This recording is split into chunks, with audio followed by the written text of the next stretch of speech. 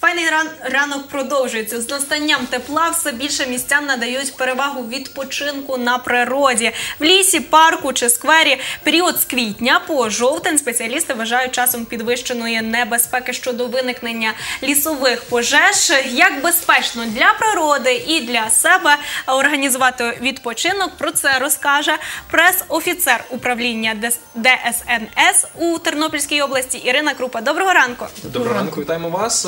От і насправді от е, стає більше небезпеки. О, Зараз травень. е, Приходить літо, так е, люди вбираються на пікніки, от і вони не знають насправді, як себе там поводити, не завжди гасять це, цей вогонь. А яка статистика у Тернопільській області стосовно пожеж на природі? Через людський фактор. Е, Загальна статистика пожеж е, на Тернопільщині з початку року ця цифра вже е, перевищила тисячу пожеж. 1211 пожеж ми вже зафіксували від початку цього року. Фактично, от п'ятий місяць, а ми вже маємо таку велику цифру. Зокрема, вона зросла дійсно за рахунок пожеж в еко- в екологічних системах, пожеж на відкритій території, яких ми маємо 764 з початку року.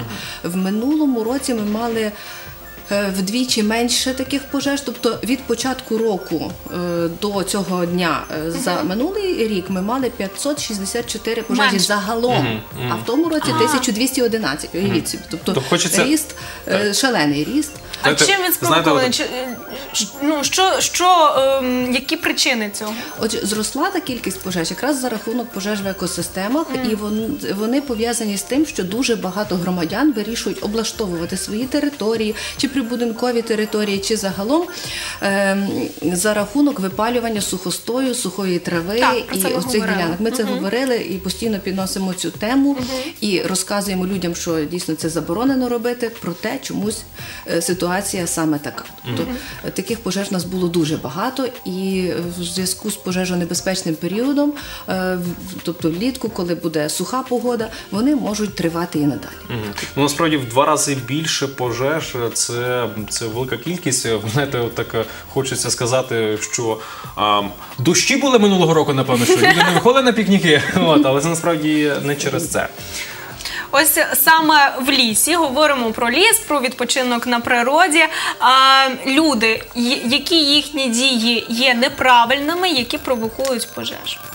Е, Ну насправді під час відпочинку, е, принаймні в нас в області громадяни вміють поводитися, тому що е, вони вибирають місця безпечні для розведення А які це саме повинні бути місця? Ну в правилах пожежної безпеки сказано, що розводити багаття не можна. Ближче ніж 50 метрів до хвойного лісу, ближче ніж 25 метрів до листяного лісу, ближче ніж 30 метрів до будівель, до житлових, до автозаправних станцій, до стоянок, там де є автомобілі.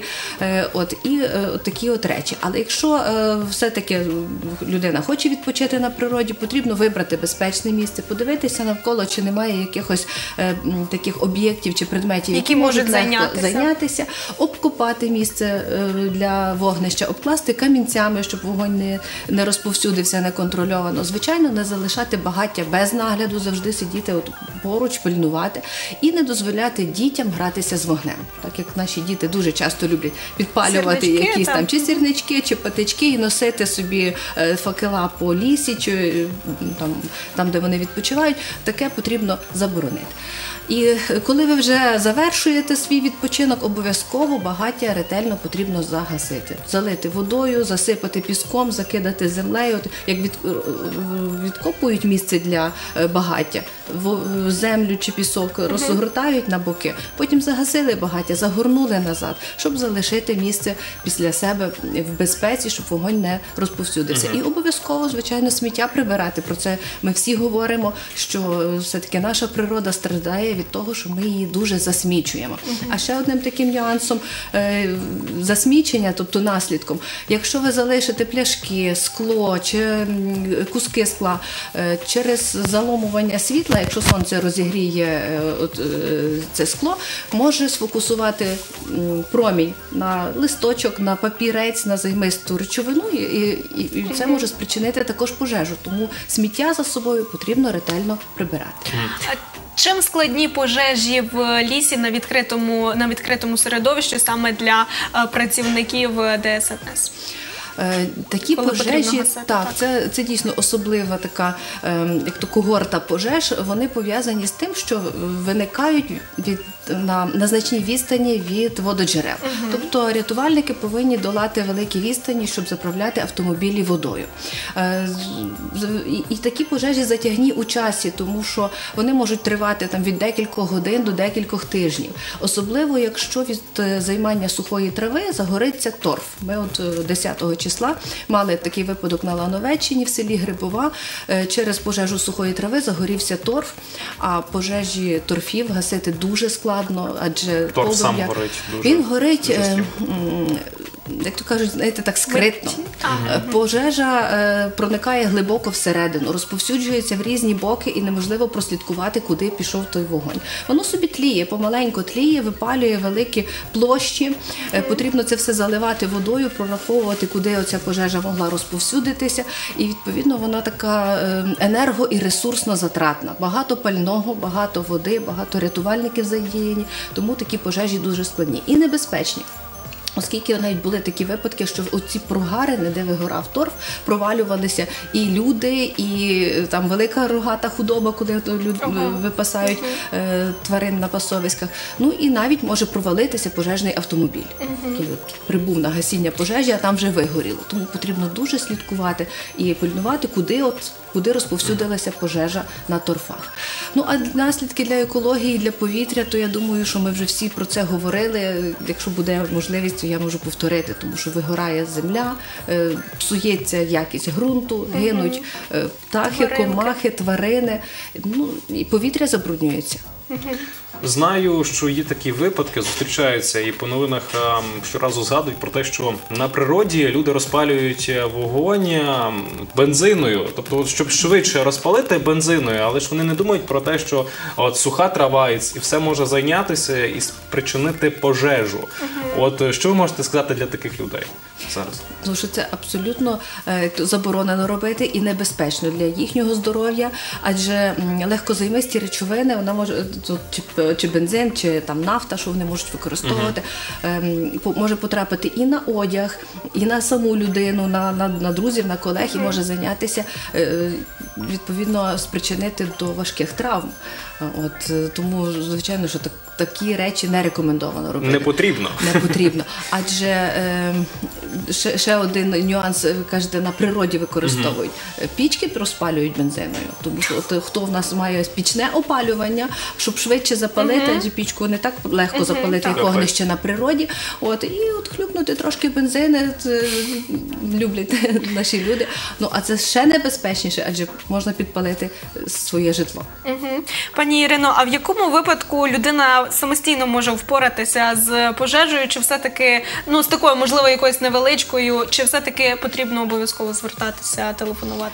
Ну, кожен повинен оцінити свої сили. Якщо вогонь вийшов з-під контролю і ви можете його погасити з допомогою підручних засобів, з допомогою первинних засобів пожежогасіння, звичайно, слід це робити е, і не дати вогню розповсюдитися. Якщо на природі ви можете використати е, одяг, е, якусь плахту, якусь е, тканину і прикрити вогонь, закидати е, землею чи піском, е, залити водою, якщо ви це маєте. Якщо це пожежа трапилася десь у житловому будинку чи в автомобілі, і ви маєте вогнегасник, обов'язково скористайтесь вогнегасником.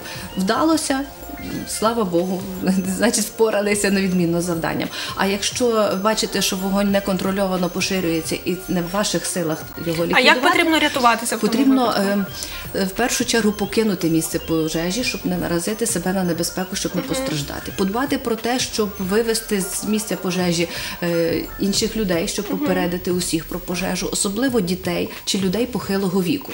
Допомогти вийти людям, які не здатні це зробити самостійно. Е, І відразу зателефонувати на 101 до рятувальників. Е, Обов'язково важливо, щоб перед тим як ви телефонуєте, ви повинні уяснити собі, що ви маєте сказати. Бо дуже часто дзвонять люди і в паніці кричать: пожежа, їдьте. Ви бачите, їдьте, горить. Е, Не можуть е, чітко пояснити адресу, масштаб пожежі, що горить, об'єкт. Тому відразу е, маєте собі уяснити. Геолокація можна де там сталося, що горить, є небезпека, є поранені люди, потрібна швидка, потрібні додаткові сили та засоби. Тобто ви повинні чітко е, і якісно здійснити цей виклик. Ну і власне на завершення хочеться запитати вас кілька основних ем, правил поведінки в лісі. Е, ну, під час пікніка ви. В основному потрібно пильнувати вогнище, щоб не спричинити пожежі. Е, Також потрібно пильнувати своїх дітей, щоб діти не гралися з вогнем.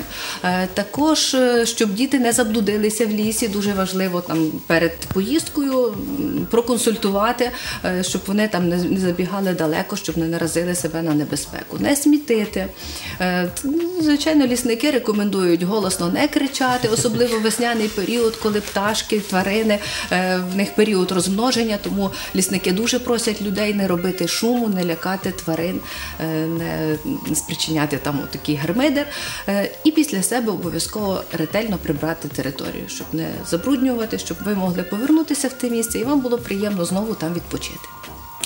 Дякуємо вам за те, що до нас завітали. Я нагадую, що у нас у гостях е, була Ірина Крупа, прес-офіцер управління ДСНС у Тернопільській області. Е, Друзі, пам'ятайте про номер 101, але е, хочу побажати вам, аби ніколи не доводилося телефонувати так, коли ну трапляються якісь такі погані ситуації.